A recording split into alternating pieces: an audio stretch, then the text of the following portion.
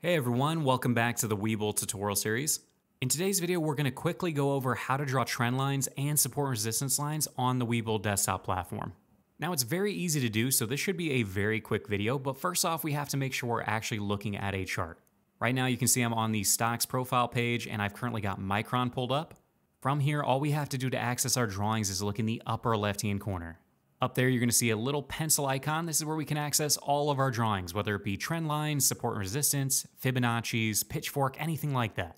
To access them, we'll simply click on the little pencil icon and it's gonna bring up our drawing tools to the right-hand side. That's what each one of these little icons is for. Now, starting from left to right, it starts with very simple indications like trend lines, support resistance. Those are all in this first one. The second one is going to be more complex drawings, things like parallel lines, polylines, rectangles, pitchforks, that kind of stuff. And then the last one is going to be your Fibonacci's if you want to use them. Now, in order to actually start using the drawing, all we have to click on is the one that we want to use. In this case, we want to use a trend line, so we'll go ahead and click on the very first one here. And once we click on it, we're going to see that our icon changes to like a little pencil icon, which means we're actually going to start drawing anytime we click. Now, just like other platforms I'm sure you're used to, you simply need to point and click and start drawing your anchor points. The first anchor point is going to start the trend line. The second anchor point is going to end the trend line. So if we just wanted to pick two random points on our chart, let's just go ahead and click here and come up here to the right and click again. We can now see we just drew a trend line. From there, we could simply edit the line by looking in the upper right hand corner. You can see the color of that line, you can see the thickness of the line, and the style of the line, whether or not you wanted to make it a dashed line or a solid line, whatever you might want to use. To edit those, we simply need to click on it, and let's make this like a purple line that's twice as thick, and we'll make it a dashed line as well. If we lock it in place, we can't move it anymore. We can't drag and drop it until we unlock it again, and then we can kind of drag and move it where we need to if we need to. And then to delete it, all we have to do is click on the little delete button, little trash can, and that'll delete the drawing from our chart. If we wanted to use a support resistance line, we would do the exact same thing. We simply need to click on this little drop down arrow, find the horizontal line, which is support resistance. We'll simply click on that, and all we have to do is click once for this one. So let's say we found our support line. We'll just put it here for some reason. We just need to click once, and there is our support line. Let's say we also wanted to do resistance. We'll go ahead and click on this again, and we'll put our resistance up here for some reason. Just like the trend line, if we wanted to drag or drop those, we simply need to click and hold down and drag it up or down wherever we see fit.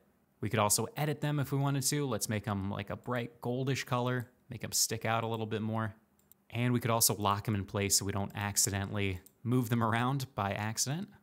And then once we're done with them, we could simply delete them, get them off of our chart if we wanted to.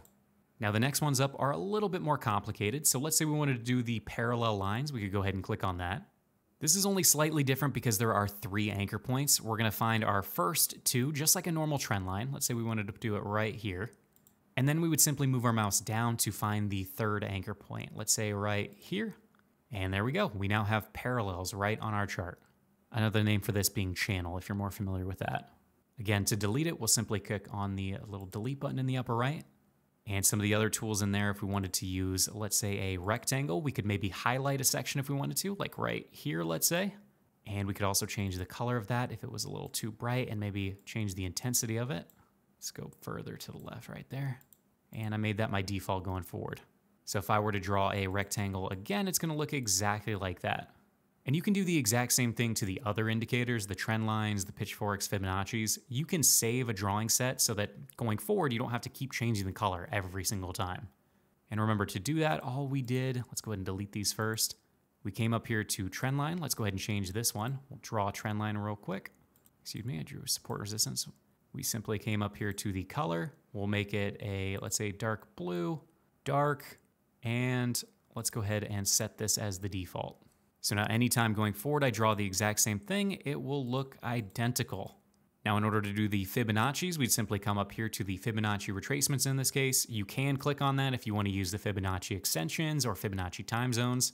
But in this case, we'll just use the retracements. We'll go ahead and click on that. And we're going to find, let's just do an absolute high and an absolute low to draw our Fibonacci's. And again, if we want to get rid of it, we'd simply click on the delete button in the upper right.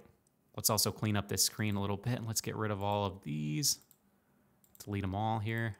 And the last one we'll talk about is the text box. So if we wanted to draw a text saying buy here, we'll go ahead and throw that in there, save. And now we've got a little text box that we could drag and move around if we wanted to, but we'll go ahead and delete that just to get rid of it.